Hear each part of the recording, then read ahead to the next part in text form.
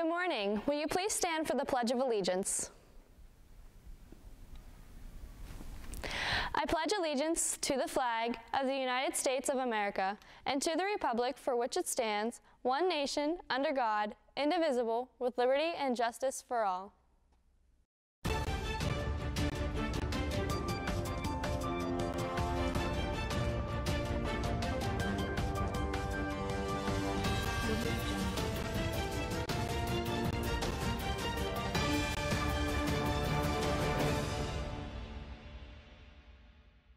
Good morning, my name is Alex. Thank you for joining us today for the morning announcements.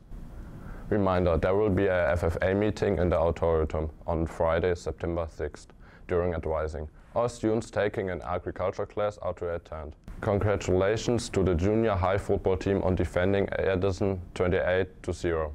Also congratulations to the high school boys cross country team on a second place finished at the Buckeye 8 meeting. Also, the junior high girls country team finished first. Special congratulations to Jasmine Arnold on winning the girls race. Let's take a break and head over to Skylar with some fun facts of the day.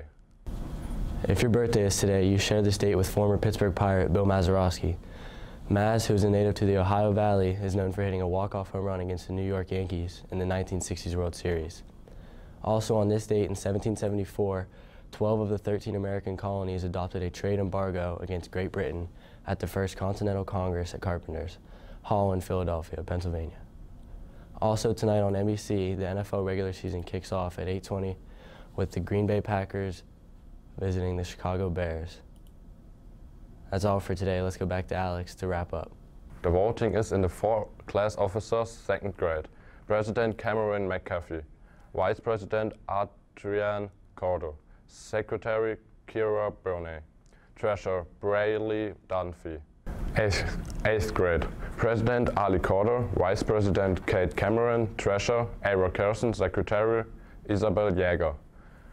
Ninth grade. President Caleb Cowens, Vice President Nadia Tweedy, Secretary Mackenzie Harborn, Treasurer Yulena Kawotsky.